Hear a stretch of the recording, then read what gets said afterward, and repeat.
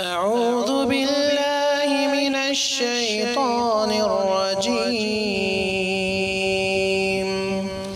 بسم الله الرحمن الرحيم.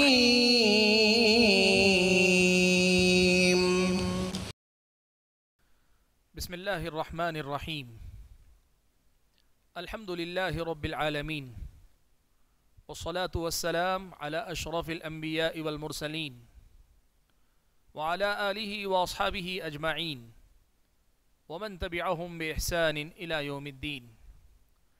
يا أيها الذين آمنوا اتقوا الله حق تقاته ولا تموتن إلا وأنتم مسلمون.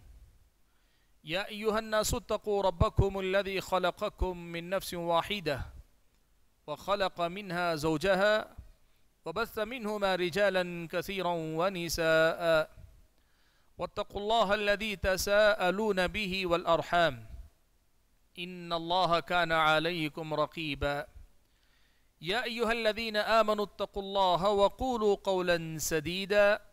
يصلح لكم أعمالكم ويغفر لكم ذنوبكم. ومن يطع الله ورسوله فقد فاز فوزا عظيما.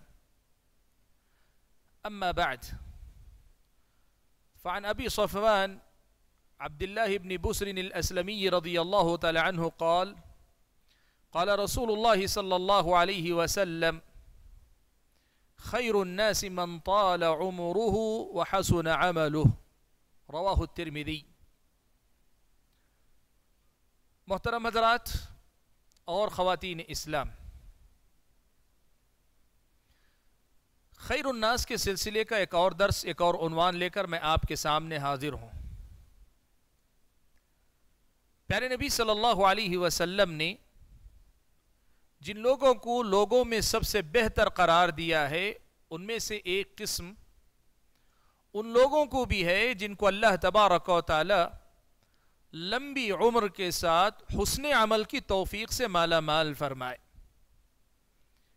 سنن ترمیدی کی روایت میں نے آپ کے سامنے پڑھی، یہ حدیث الفاظ کے فرق کے ساتھ مسند احمد وغیرہ میں بھی دیگر کتابوں کے اندر بھی آئی ہے۔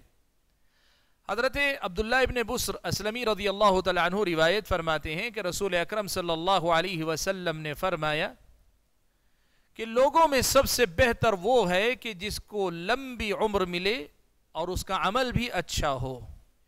یعنی درازی عمر کے ساتھ ساتھ حسن عمل کی توفیق ملے تو یہ سب سے اچھا آدمی ہے۔ آپ اور میں جانتے ہیں موت و حیات کے فیصلے اللہ تبارک و تعالیٰ کے ہیں، انسان کے اختیار میں نہیں۔ انسان کو اللہ تعالیٰ نے عمل کرنے کا اختیار دیا ہے۔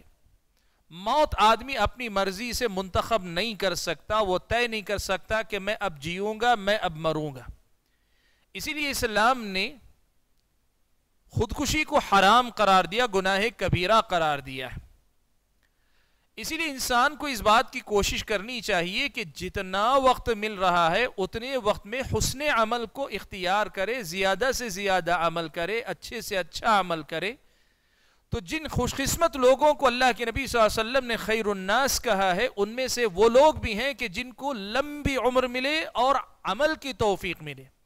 باعمل زندگی کے ساتھ، درازی عمر نصیب ہو، یہ بہت بڑی فضیلت والی بات ہے۔ آپ اور میں یہ بات اچھی طریقے سے جانتے ہیں۔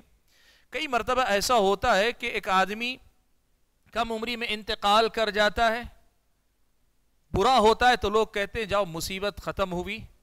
اچھا ہوتا ہے تو لوگ افسوس کرتے ہیں اچھا آدمی تھا، جلدی چلا گیا۔ نہیں، اس کے اپنے وقت پر گیا ہے، لیکن ہمارے حساب سے لوگ کہتے ہیں، جلدی چلا گیا۔ لیکن وہیں کچھ لوگوں کا اپنا ایک سوچ ایک سوچ یہ ہے لوگوں کی کہ اچھا ہوا، آدمی جلدی چلا جائے تو گناہ کم ہوں گے۔ آدمی جلدی چلا جائے تو گناہ کم ہوں گے، اس لیے اچھا ہے آدمی جلد مر جائے۔ نہیں، ایسا نہیں۔ ہے آپ کو کیا پتا کہ عمر دراز ہوگی تو گناہ جو ہوں گے، ہو سکتا ہے کہ اس کی نیکیاں اس کے گناہوں کو مٹا دے۔ ہو سکتا ہے وہ توبہ کر لے۔ ہو سکتا ہے اللہ تبارک و تعالیٰ اس کی نیکیوں کے، کسی نیکی کو اتنا پسند کر لے کہ اس کے گناہوں کا کفارہ بنا دیں آدمی کو جو کرنا چاہیے وہ یہ کہ آدمی بہتر عمل کرنے اچھا عمل کرنے کی فکر کرے۔ یہ فکر نہ کرے کہ میرے گناہ مزید بڑھ جائیں گے، اس لیے میں موت جلدی چاہتا ہوں۔ بہت سارے لوگ دنیا کی پریشانیوں سے اکتا کر موت کی تمنا کرتے ہیں۔ بہت سارے لوگ موت کی تمنا کرتے ہیں۔ اس مصیبت سے تو اچھا تھا، میں مر جاتا، میں مر جاتی۔ فلاں دن دیکھنے سے تو اچھا تھا، میں مر جاتا، میں مر جاتی۔ اسلامی شریعت کی نظر میں موت کی ایسی تمنا حرام اور ناجائز ہے۔ اس کے مقابلے میں اللہ تعالیٰ نے جتنی عمر دی ہے، جتنا موقع اللہ تعالیٰ نے دیا ہے، اسی قدر زیادہ بندے کو نیک عمل کرنے کی فکر کرنی چاہیے اور یاد رکھنا چاہیے، جتنی لمبی عمر ملتی ہے، اتنی ہی لمبی۔ اتنی ہی لمبی آپ کو فرصت مل رہی ہے کہ آپ نیک عمل کریں اور جتنا آپ نیک عمل کریں گے، اتنا ہی زیادہ اللہ تعالیٰ کے پاس آپ بہتر لوگوں میں شمال ہوں گے، خیر الناس کی فہرست میں آپ کا تذکرہ ہوگا۔ پیارے نبی صلی اللہ علیہ وسلم کی ایک صحابی اللہ کے نبی صلی اللہ علیہ وسلم کے پاس آتے ہیں۔ اور آ کر نبی علیہ السلاۃ والسلام سے کہتے ہیں، اللہ کے نبی، دو آدمیوں کو میں نے دیکھا، خواب میں دیکھا دو آدمی تھے، دونوں کے دونوں میدان جنگ میں نکلے۔ ایک میدان جنگ میں شہید ہو گیا اور دوسرا آدمی شہید نہیں ہوا، واپس آیا۔ اس کے ایک سال کے بعد اس نے وفات پائی۔ یعنی پہلا آدمی جو شہید ہوا، اس کی شہادت کے ایک سال کے بعد اس نے موت آئی، اسے نارمل موت، طبیعی موت جسے لوگ کہتے ہیں۔ حالانکہ ہر موت طبیعی فطری موت اللہ نے جو طے کی ہے ویسی ہے۔ طبیعی موت کا مطلب یہ کہ شہادت وغیرہ نہیں، جو موت کا وقت تھا وہ آیا، انتقال کر گیا۔ صحابی نے اللہ کے رسول صلی اللہ علیہ وسلم سے کہا، میں نے خواب میں یہ دیکھا کہ یہ آدمی جو شہادت کی موت مرا ہے، اس پر یہ آدمی جو ایک سال بعد وفات، عام موت، طبیعی موت مرا وہ سب قتلے گیا ہے وہ آگے بڑھ گیا ہے۔ تو ان کو تعجب ہوا کہ شہید کے درجے تو بہت بلند ہیں۔ شہید کے درجے تو بہت بلند ہیں، لیکن یہ کیسے ہوا کہ ایک طبیعی موت مرنے والا، شہادت پانے والے پہ سب قتلے گیا ہے؟ شیخ البانی رحمۃ اللہ علیہ نے سلسلۃ الحادیث صحیحہ میں اس حدیث کو نقل کر کے اور صحیح الجامع کے اندر اس حدیث کو نقل کر کے اس حدیث کو حسن بتایا، اس حدیث کو صحیح لکھا ہے۔ اس حدیث کو جو ہے ثابت ہے، بتایا ہے۔ وہ کہ شیخ البانی رحمۃ اللہ علیہ نے نقل کیا ہے کہ نبی علیہ السلاۃ والسلام نے صحابی کے اس استفسار کا جواب دیتے ہوئے کہا کیا ایسا نہیں ہے کہ وہ آدمی شہید ہونے کے بعد اس نے جو ایک سال پایا، اس ایک سال میں اسے رمضان بھی ملا، اس ایک سال میں اس نے جو ہے اتنے ہزار نیکیاں اتنی ہزار نمازیں پڑھی اور اس ایک سال میں اس نے کتنی کچھ نیکیاں کی ہیں کیا ایسا نہیں ہوا؟ ہے ان نیکیوں کی وجہ سے وہ شہید پر سبقت لے گیا ہے۔ یعنی مطلب یہ ہے کہ دو آدمی جب میدان میں شریک ہوئے تھے، ایک شہادت پایا تو وہ آگے بڑھ چکا تھا۔ لیکن بعد میں اللہ تعالیٰ نے ایک سال جو اسے موقع دیا، اس ایک سال میں اس نے اتنی نیکیاں کی کہ وہ شہید کے اجر سے زیادہ نیکیاں کمانے والا ہوا تو پھر وہ سب قتلے گیا۔ پیارے نبی صلی اللہ علیہ وسلم کی یہ حدیث میرے اور آپ کے سامنے اس مسئلے کو واضح کرتی ہے کہ عمر دراز اگر ہو رہی ہے، نیکیوں کی توفیق مل رہی ہے تو اللہ تعالی ہمارے ساتھ خیر کا معاملہ کر رہا ہے، یہ ہم اور آپ کو سمجھنا چاہیے۔ اکثر و بیشتر درازی عمر کے ساتھ لوگوں کے اندر بیماریاں آ جاتی ہیں، تکلیفیں آ جاتی ہیں، پریشانیاں آتی ہیں۔ تو لوگ یہ سوچنے لگتے ہیں کہ بھائی اس سے تو اچھا ہے، آدمی ذرا مضبوط رہے مضبوط رہے جسم جسمانی عادت صحیح سالم رہے، اسی حالت میں دنیا سے نکل جائے، بہتر ہے۔ نہیں، ایسا نہیں۔ آپ اللہ نہ کرے، بیمار ہیں، لیکن بستر پہ لیٹے بھی آپ کچھ عبادت کر رہے ہیں، کچھ تسبیحات پڑھ رہے ہیں، اللہ تعالیٰ کا ذکر کر رہے ہیں۔ چھوٹی موٹی نیکیاں آپ کر رہے ہیں، لیکن جو نیکی کر رہے ہیں اگر درازی عمر کے ساتھ حسن عمل کی توفیق ملتی ہے، تو یہ تو جو ہے بڑی اچھی بات ہے۔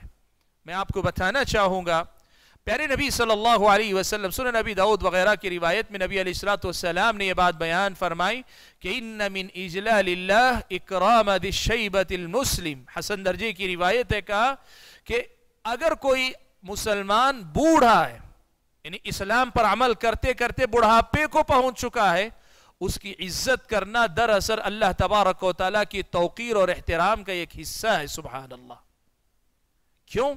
اس لیے کہ ایک آدمی اگر اللہ کی بندگی میں اتنی لمبی مدت تک ہے کہ یہاں تک کہ بوڑھا ہو گیا ہے، تو اس کا مطلب یہ ہوا کہ اللہ تعالیٰ کے دین کی، اللہ تعالیٰ کی عزت اور اجلال اور توقیر اور احترام کا ایک حصہ یہ ہے کہ اس اسلام پر قائم رہتے ہوئے اس نے زندگی گزاری ہے تو اس کی عزت کی جائے۔